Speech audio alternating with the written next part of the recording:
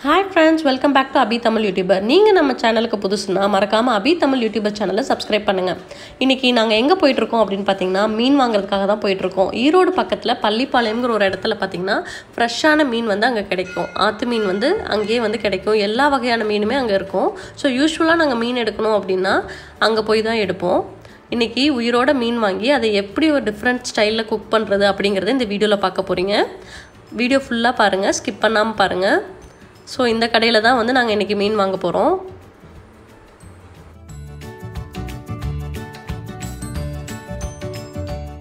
So கடல் மீன்லாம் பார்த்திங்கன்னா இந்த மாதிரி ஐஸில் போட்டு நிறைய பாக்ஸ் பாக்ஸாக வச்சுருக்காங்க. மோஸ்ட்லி இந்த மாதிரி ஃபிஷ்ஷஸ்லாம் வந்து நாங்கள் சாப்பிட மாட்டோம். ஒரு ரெண்டு மூணு வெரைட்டி மட்டும்தான் சாப்பிடுவோம். நாங்கள் இன்றைக்கி என்ன மீன் வாங்க வந்திருக்கோம் அப்படின்னு பார்த்தீங்கன்னா அவுரி மீன் இல்லைன்னா வெரா மீன். இந்த ரெண்டு நேமே சொல்லுவாங்க அந்த மீனுக்கு. ஸோ அந்த மீனை தான் வாங்க வந்திருக்கோம்.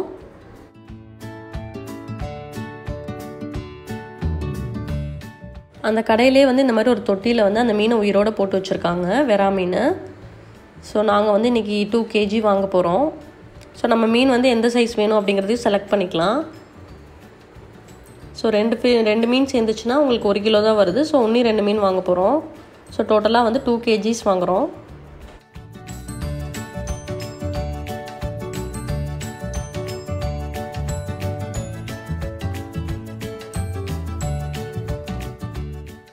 இந்த மீன் கையில் பிடிக்கவே முடியாது. வலுவலுவலுன்னு இருக்கும். இது வாஷ் பண்ணும்போது அப்படி தான் நல்லா ஸ்க்ரப் பண்ணி அந்த மேலே இருக்க லேயரை வந்து நல்லா க்ளீன் பண்ணணும். நிறைய பாசம் இருக்கும் அது மேலே.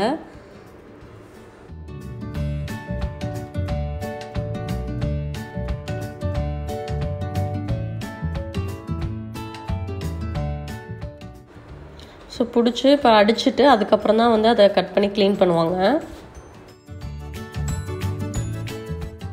ஒரு செவன்ட்டி பர்சன்டேஜ் இங்கேயே வந்து கட் பண்ணி க்ளீன் பண்ணி பீஸ் போட்டு கொடுத்துருவாங்க. பீஸ் எந்த சைஸில் வேணும் என்னங்கிறத நம்ம சொன்னோம்னா அதுக்கு ஏற்ற மாதிரி கட் பண்ணி கொடுப்பாங்க.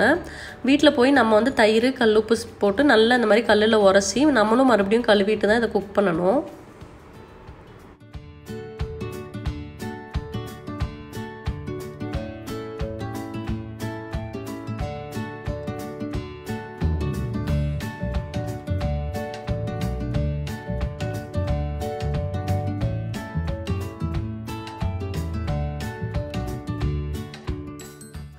நான் வந்து கொஞ்சம் சின்ன சின்ன பீஸாக கேட்டிருந்தேன். ஸோ அந்த ஸ்லைஸுக்கு ஏற்ற மாதிரி போட்டு கொடுக்குறாங்க.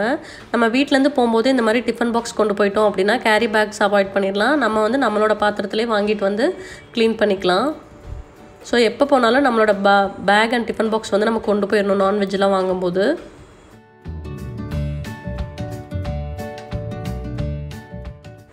தயிர் கல்லுப்பு எடுத்து நம்ம நல்லா கல்லில் உரைச்சி நீட்டாக வந்து கழுவிக்கணும். நிறைய தண்ணியில் போட்டு கழுவிடுங்க ரெண்டு லெமன் சைஸுக்கு புளியை வந்து போகும்போதே ஊற வச்சுட்டு போயிட்டேன். ஸோ மீன் குழம்பு எப்படி வைக்கிறதுன்னு பார்க்கலாம். ஒரு கப்பில் ரெண்டு ஸ்பூன் சீரகம் எடுத்துக்கோங்க. ரெண்டு டீஸ்பூன் எடுத்துக்கோங்க. ஏழு தக்காளி ஊற வச்ச புளி சீரகம் அதுக்கப்புறம் ஒரு கப் சின்ன வெங்காயம் எடுத்தாச்சு. இது எல்லாத்தையும் வந்து ஜாரில் வந்து அப்படியே போட்டு அரைச்சிக்க போகிறோம் சின்ன வெங்காயம் சீரகம்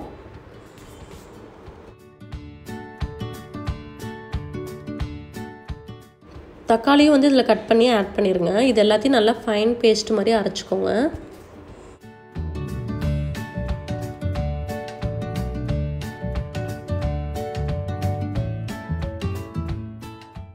நல்லா இந்த மாதிரி அரைச்சி எடுத்து வச்சுருங்க. அடுத்து வந்து நமக்கு தேங்காய் பால் வேணும். அதுக்கு வந்து ஒரு ஹாஃப் கப் தேங்காய் துருவன தேங்காய் எடுத்துக்கோங்க.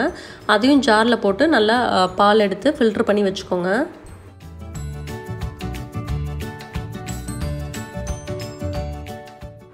இந்த மாதிரி ஃபில்டர் யூஸ் பண்ணி நல்லா இன்னும் கொஞ்சம் தண்ணி சேர்த்து நல்லா புழிஞ்சு எடுத்துக்கோங்க.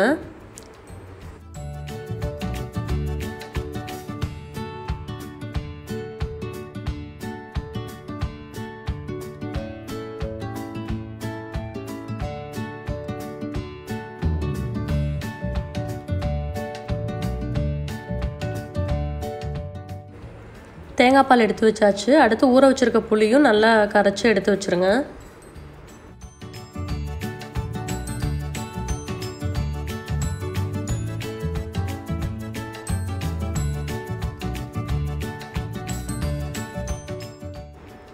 தேங்காய் பால் எடுத்து வச்சாச்சு.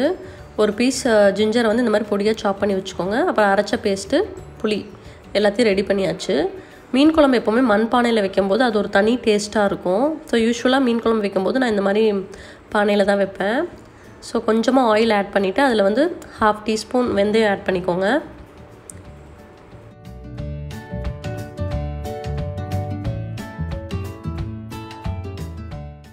வெந்தயம் பொரிஞ்சதும் கறி லீவ்ஸ் ஆட் பண்ணிடுங்க ரெண்டு பச்சை மிளகாவும் தாளிக்கிறதுக்கு ஆட் பண்ணிக்கோங்க. இந்த மாதிரி கட் பண்ணி ஆட் பண்ணிடுங்க அதுக்கப்புறம் நம்ம ஃபைனாக சாப் பண்ணி வச்சுருக்க ஜிஞ்சரையும் இதில் போட்டுடலாம். இந்த ஜிஞ்சர் பச்சை மிளகா இதெல்லாம் போடும்போது தனி ஃப்ளேவர் கிடைக்கும் குழம்புக்கு. நெக்ஸ்ட் டைம் மீன் குழம்பு வைக்கும்போது இந்த மாதிரி செஞ்சு பாருங்கள் இதோட டேஸ்ட்டே வேறு லெவலில் இருக்கும். கொஞ்சமாக தாளிக்கிறதுக்கு சின்ன வெங்காயம். இது எல்லாத்தையும் நல்லா வதக்கிக்கோங்க. இதில் வந்து இப்போ ஸ்பைஸ் பவுடர்லாம் ஆட் பண்ணிக்கலாம். ஒரு ஹாஃப் டீஸ்பூன் மஞ்சத்தூள்.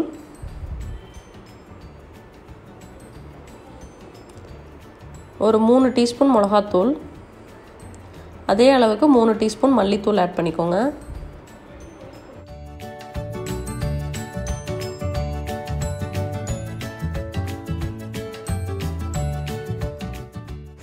மசால் தூள் எப்போவுமே வந்து எண்ணெயில் போட்டுருங்க. அப்போ தான் வந்து அந்த எண்ணெயில் வதங்கும் போது நல்ல டேஸ்ட்டும் ஃப்ளேவரும் கிடைக்கும். இப்போ நம்ம அரைச்சி வச்சுருக்க வெங்காயம் தக்காளியும் இதோடு சேர்த்துக்கலாம். சேர்த்துட்டு எல்லாத்தையும் நல்லா மிக்ஸ் பண்ணி விட்டுருங்க.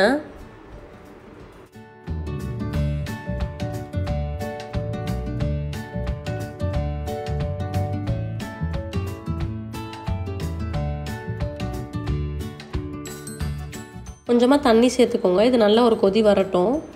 கொதி வந்ததுக்கப்புறம் நம்ம வந்து கரைச்சி வச்சுருக்க புளியை வந்து இதில் சேர்த்துக்கலாம். எப்போவுமே புளியை வந்து வடிகட்டிட்டு சேர்த்துங்க. புளியில் இருக்க டஸ்டெல்லாம் வந்து அப்போ தான் ரிமூவ் ஆகும். ஸோ இந்த மாதிரி ஃபில்ட்ரு பண்ணி புளியை சேர்த்துக்க போகிறேன் புளியும் கொஞ்சம் திக்காக இருக்கனால இன்னும் கொஞ்சம் தண்ணி சேர்த்து இதை மறுபடியும் ஃபில்ட்ரு பண்ணிக்கோங்க.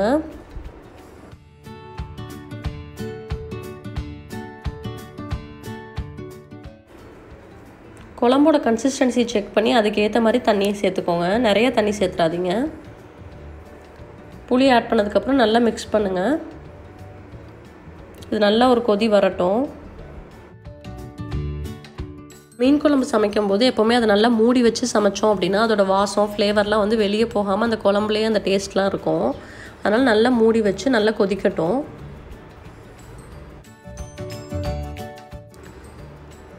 மீன் குழம்பு நல்லா கொதிச்சிருச்சு. இப்போ நம்ம வந்து எடுத்து வச்சுருக்க தேங்காய் பாலையும் இதில் ஆட் பண்ணிடலாம். ஆட் பண்ணிவிட்டு மிக்ஸ் பண்ணி விட்டுட்டு மறுபடியும் மூடி வச்சுருங்க.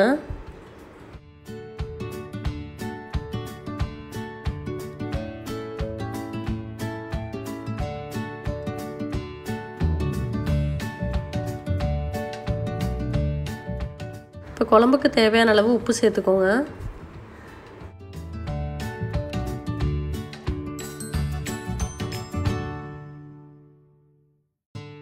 குழம்பு நல்லா கொதிச்சு வரும்போது தான் மீன் துண்டை வந்து சேர்க்கணும்.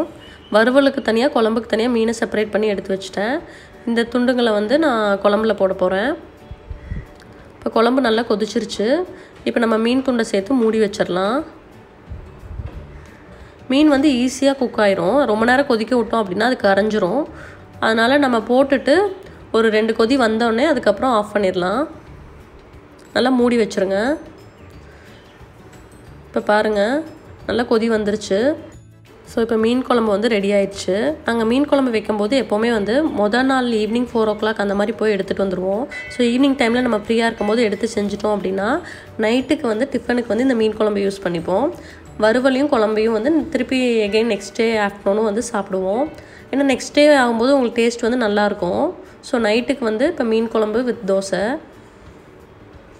ஏன்னா ஏர்லி மார்னிங் போய் நம்ம எடுத்துகிட்டு ரொம்ப டைம் ஆயிரும். அந்த டேவே வந்து நமக்கு அதுக்கு சரியாயிடும். அதனால் நம்ம பிஃபோர் டேவே வந்து இந்த மாதிரி பிளான் பண்ணி எடுத்து சமைச்சு வச்சுருவோம். கண்டிப்பாக இந்த மாதிரி மெத்தடில் வந்து மீன் குழம்பு செஞ்சு சாப்பிட்டு பார்த்து உங்கள் ரிவ்யூ வந்து கமெண்ட்டில் சொல்லுங்கள் செம்ம டேஸ்ட்டாக இருக்கும். ஸோ நைட் டின்னருக்கு வந்து தோசை வித் மீன் குழம்பு சாப்பிட்டாச்சு. இப்போ மீன் வறுவலுக்கு வந்து எந்த மாதிரி மசால் ப்ரிப்பேர் பண்ணோம் அப்படிங்கிறத பார்க்கலாம். தலை வால் ஒரு ரெண்டு மூணு பீஸ் வந்து நம்ம குழம்புக்கு போட்டாச்சு. அடுத்து இந்த மாதிரி சின்ன சின்ன பீஸாக இருக்கிறது எல்லாத்தையும் வந்து வறுவலுக்கு எடுத்து வச்சுக்க போகிறேன் வறுவலுக்கு மசால் வந்து எப்படி செய்கிறதுன்னு பார்க்கலாம். ஒரு பிளெண்டரில் வந்து ஒரு டேபிள் ஸ்பூன் ரவை எடுத்துக்கோங்க. ரவை நம்ம எதுக்காக சேர்த்துக்கிறோம் அப்படின்னா அது வந்து நல்ல ஒரு பைண்டிங் கொடுக்கும். ஒன்றரை tablespoon ginger garlic paste சேர்த்துக்கோங்க. மூணு க்ரீன் சில்லி சேர்த்துக்கோங்க. க்ரீன் சில்லி எதுக்குன்னா சில்லி பவுடர் என்ன தான் போட்டாலும் அதில் வந்து காரம் இறங்க மாட்டேங்குது. அதுக்காக க்ரீன் சில்லி போடும்போது நல்ல ஸ்பைசினஸ் இருக்கும். ஒரு டேபிள் ஸ்பூன் சில்லி பவுடர் ஒரு டேபிள் ஸ்பூன் மல்லி பவுடர் சேர்த்துக்கோங்க. அரை டீஸ்பூன் மஞ்சத்தூள் சேர்த்துக்கோங்க. ஒரு டீஸ்பூன் மிளகுத்தூள் சேர்த்துக்கோங்க. ஒரு டீஸ்பூன் கரம் மசாலா தூள். ஒரு டேபிள் ஸ்பூன் வந்து லெமன் ஜூஸ் ஆட் பண்ணிக்கோங்க. இந்த மசாலுக்கு தேவையான அளவு உப்பு சேர்த்துக்கோங்க.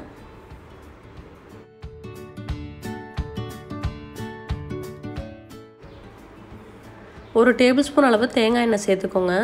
இந்த பேஸ்ட் அரைக்கும் போதே சேர்த்துக்கிட்டிங்க அப்படின்னா மீனோட வந்து நல்லா அந்த மசால் வந்து இறங்கும். ஸோ இப்போ இந்த மசால் வந்து ரெடி பண்ணி எடுத்தாச்சு. இது எல்லாத்தையும் வந்து நம்ம மீனில் போட்டு மேரினேட் பண்ணி வச்சிடுறேன். ஸோ பிஃபோர் டே நைட்டே மேரினேட் பண்ணுறனால நெக்ஸ்ட் டே ஆஃப்டர்நூன் உங்களுக்கு சாப்பிடும்போது நல்லா இருக்கும். அந்த மசாலெல்லாம் வந்து மீனில் வந்து இறங்கி நல்லா சூப்பராக இருக்கும். ஸோ இதோட போட்டு நல்லா மிக்ஸ் பண்ணி அப்ளை பண்ணி வச்சுக்க போகிறேன்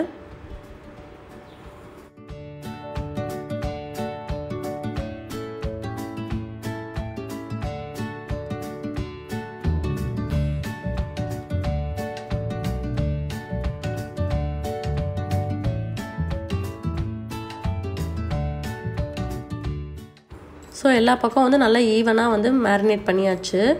இதை வந்து நல்ல ஒரு ஏர்டைட் கண்டெய்னரில் வந்து எடுத்து ஃப்ரீசரில் ஸ்டோர் பண்ண போகிறேன்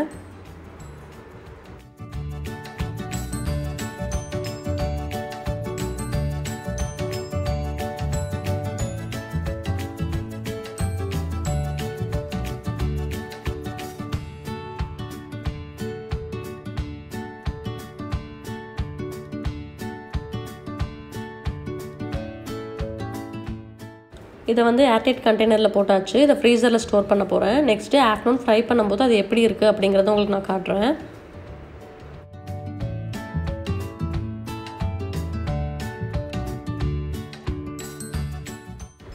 கேஸ்ட் அயன் பேனில் தான் ஃப்ரை பண்ண போகிறேன் ஃபுல்லாக கோகனட் ஆயில் போட்டுக்க போகிறேன் டீப் ஃப்ரை பண்ணாமல் ஷாலோ ஃப்ரை தான் பண்ண போகிறேன் ஸோ அதனால் கொஞ்சமாக ஆயில் இருந்தால் போதும். நம்ம நிறைய ஃபிஷ்ஷை வந்து ஃப்ரை பண்ணி எடுத்துக்கலாம்.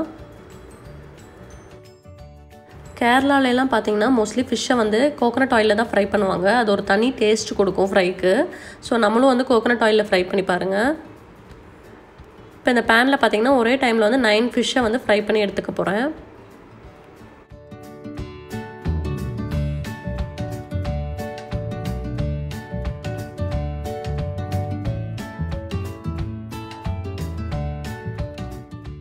நல்லா லிட்டு போட்டு க்ளோஸ் பண்ணி குக் பண்ணுங்கள் ஈவனாக வந்து ரெண்டு பக்கம் குக் ஆகும் இந்த மாதிரி ஹெவி பாட்டமில் குக் பண்ணும்போது உங்களுக்கு வந்து நல்லா ஸ்லோவாகவும் நீட்டாகவும் குக் ஆகிடும் எல்லா பக்கம் ஈவனாக குக் ஆகிருக்கும் இப்போ ரெண்டு பக்கம் வந்து நல்லா திருப்பி போட்டுக்கோங்க.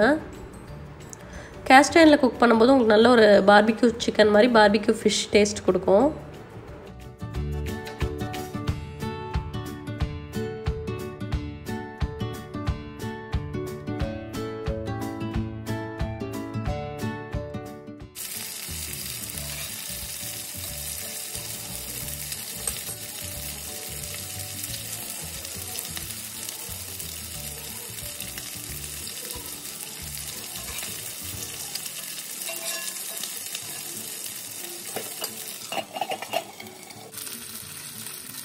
நம்ம ஆயிலில் டீப் ஃப்ரை பண்ணும்போது பார்த்திங்கன்னா நல்லா மொறுமொறுன்னு குக் ஆயிரும். நம்ம இந்த மாதிரி ஷாலோ ஃப்ரை பண்ணும்போது உங்களுக்கு நல்லா ஜூஸியாக சாஃப்டாக குக் ஆகிருக்கும் இப்போ இது ரெண்டு பக்கம் நல்லா சாஃப்டாக குக் ஆயிடுச்சு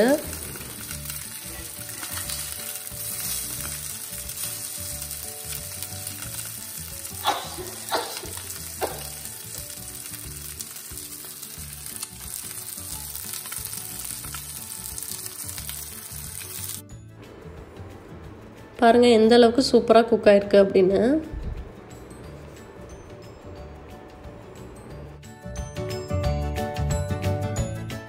நெக்ஸ்ட் டைம் ஃபிஷ் ஃப்ரை பண்ணும்போது இந்த மாதிரி மசால் ப்ரிப்பேர் பண்ணி ஃப்ரை பண்ணி பாருங்கள் உங்களுக்கு டேஸ்ட்டோட டிஃப்ரென்ஸ் தெரியும். நல்லா சூப்பராக ரெடி ஆயிடுச்சு ஃபிஷ் ஃப்ரை இன்றைக்கி லஞ்சுக்கு மீன் குழம்பு ரைஸ் வித் ஃபிஷ் ஃப்ரை நாங்கள் சாப்பிட போகிறோம் அந்த மசால் பாருங்கள் எந்த அளவுக்கு ஃபிஷ்ஷில் இருக்குது அப்படின்ட்டு. நல்லா சாஃப்டாக குக் ஆயிருக்கு.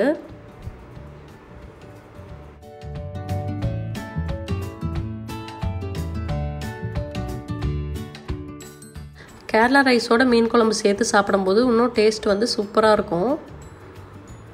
இந்த வீடியோ வந்து உங்களுக்கு யூஸ்ஃபுல்லாக இருக்கும்னு நினைக்கிறேன். நெக்ஸ்ட் டைம் மீன் குழம்பும் மீன் வறுவலும் செய்யும்போது இந்த மாதிரி செஞ்சு பாருங்கள் உங்கள் ரிவ்யூஸை வந்து கமெண்ட் பாக்ஸில் சொல்லுங்கள் லைக் பண்ணுங்கள் ஷேர் பண்ணுங்கள் மறக்காமல் அபி தமிழ் யூடியூபர் சேனலை சப்ஸ்கிரைப் பண்ணுங்கள் தேங்க்ஸ் ஃபார் வாட்சிங்